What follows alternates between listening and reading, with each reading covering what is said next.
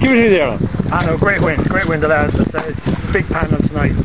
First time we have got the whole team out together the whole year.